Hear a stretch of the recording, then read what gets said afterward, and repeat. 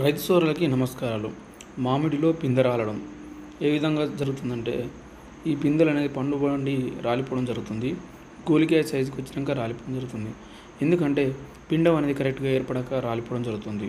మరి పోషకాలు సరిపోక కూడా రాలిపోవడం జరుగుతుంది.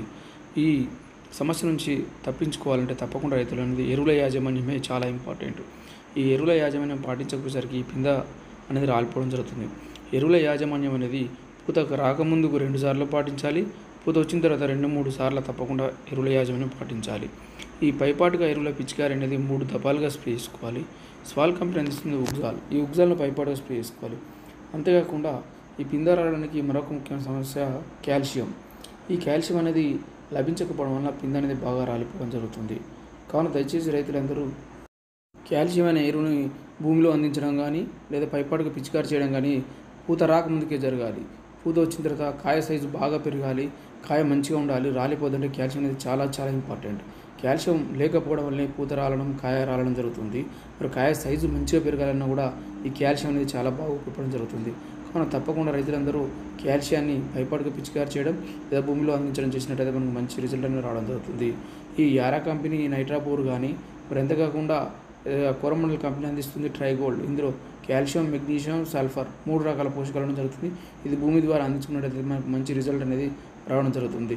ఇంకా అసలు పూత రాలద్దు కాయ రాలకూడదు అనుకుంటే మనం తప్పకుండా జూలై నెల నుంచే మనకు ఈ ఎరువుల యాజమాన్యం పాటించుకోవాలి. జూలై నెల నుంచే ఈ ఎరువుల యాజమాన్యం పాటించడం మనకు మంచి రిజల్ట్ అనేది రావడం జరుగుతుంది. మామిడి కోతలు అయిపోయిన తర్వాత మనం జూలై మాసంలో కొమ్మలను కత్తిరించుకోవాలి. కొమ్మలు కత్తిరించుకున్న తర్వాత మనకి ఎండిపోయిన కొమ్మలు కానీ తెగుళ్ళు వచ్చిన కొమ్మలు కానీ కాయ వచ్చిన కొమ్మలు అన్నింటిని కత్తిరించి వేసుకొని మనం భూమిని ఈ విధంగా తవ్వుకొని పట్లైర్ అందించుకోవాలి. వర్షం పడ్డ వెంటనే పట్లైర్ అందించుకోవాలి. మరి వర్షాలు అయిపోతున్నాయి అనుకున్న సమయంలో మళ్ళీ పట్లైర్ అందించుకోవాలి. ఈ రసాయన ఎరువులను మాత్రం మనం ఒక పది పర్సెంట్ మాత్రమే వాడుకోవాలి. మరి నీరు అనేది తప్పకుండా మనం చిగురు లేతాకులు రావడానికి నీరు అనేది పెట్టుకొని మనం చూసుకున్నట్లయితే మనకు మంచి దిగుబడి రావడానికి ఆస్కారం ఉంటుంది. నీరు పెట్టిన వెంటనే ఈ విధంగా పట్లైర్ రింగు పద్ధతిలో పట్లైర్ వేసుకోవాలి. ఈ పట్లైర్తో పాటుగా సేంద్రియ పదార్థం కూడా అధికంగా వేసుకున్నట్లయితే మనకు మంచి రిజల్ట్ అనేది జరుగుతుంది. ఎందుకు ఈ సేంద్రియ పదార్థాలు వేయడం వల్ల మంచి రిజల్ట్ అంటే? సేంద్రియ పదార్థాలు వాడడం వల్ల మనకి భూమిలో మైక్రో ఆర్గానిజమ్స్ ఎక్కువ పెరిగేసి అవి హార్మోన్స్ ఉత్పత్తి చేయడం వల్ల మనకి మంచి రిజల్ట్ అనేది రావడం జరుగుతుంది.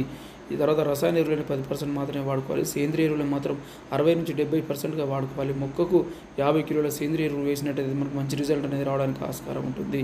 కావున దయచేసి రైతులందరూ ఎరువుల యాజమాన్యం పాటించవలసిందిగా కోరడం జరుగుతుంది. మరి అంతేకాకుండా ఏమైనా పురుగు కానీ ఉన్నప్పుడు ఈ పిందరాల సమస్యలో ఈ మంగు మంగు రావడం కానీ ఇలా బూడిద నలుపు రంగులో షూటి మోడ్ రావడం కానీ ఈ యొక్క గాల్స్ రావడం కానీ ఉన్నట్టయితే మనం అసెత్రిన్ మందు కలుపుకున్నట్టయితే మనకు మంచి రిజల్ట్ అనేది రావడం జరుగుతుంది. అసెత్రిన్లో మనకి బైఫెంత్రిన్ మరియు అస్పేట్ అనే కాంబినేషన్లో ఉండడం జరిగింది. ఈ అసెత్రిన్ అనేది మన హాపర్స్ని కూడా కంట్రోల్ చేయడం జరుగుతుంది. నల్లిని కంట్రోల్ చేయడం జరుగుతుంది. ఈ అసెత్రిన్ అనేది పచ్చ పురుగులు దెబ్బలు అన్ని రకాల పురుగులను కంట్రోల్ చేయడం జరుగుతుంది. మరి అంతేకాకుండా పైపాటుగా బోరాన్ మరియు సున్నా యాభై రెండు ముప్పై నాలుగు ఎరువును పై పిచికారి చేసుకున్నట్టయితే ఈ పిందరాలు సమస్య అనేది రావడం జరుగుతుంది. యారా కంపెనీ నైట్రాబోర్ వాడుకున్నా కూడా మనకి ఈ పిందరాల సమస్య అనేది తగ్గడానికి ఛాన్స్ ఉండడం జరిగింది. కానీ దయచేసి రైతులందరూ ఈ వాడడం ఈ యారా నైట్రాబోర్ కానీ మరి అంతేకాకుండా మీ సున్నా యాభై రెండు అరవై నాలుగు కానీ వాడవలసిందిగా కోవడం జరుగుతుంది. బోర్ అనేది చాలా ఇంపార్టెంట్. మరి ఇలాంటి ప పాటుగా ఈ ఉగ్జాలు మరియు అసత్రిని కలిపి వాడుకున్నట్లయితే మనకి మంచి రిజల్ట్ అనేది రావడానికి ఆస్కారం ఉంటుంది.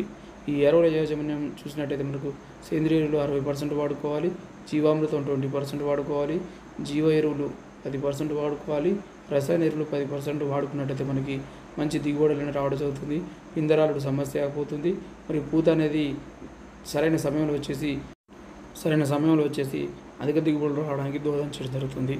జీవామృతం అంటే జీవాలను మనకు నీటిలో పెంచుకొని వదిలిపెట్టుకోవడం.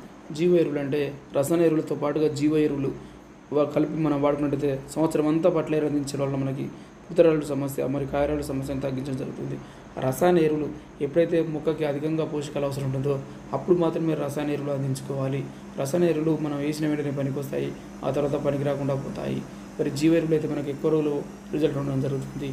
దయచేసి రైతులందరూ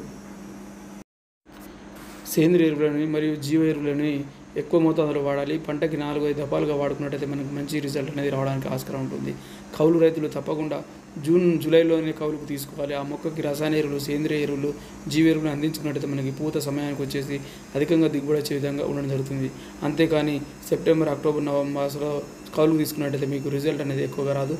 దిగుబడిని చాలా వరకు తగ్గడానికి ఆస్కారం ఉంటుంది. ఏమైనా సందేహాలు ఉన్నట్టయితే ఇక్కడ పొందుపరిచిన నెంబర్ను సంప్రదించవలసిందిగా కోరడం జరుగుతుంది. ధన్యవాదాలు.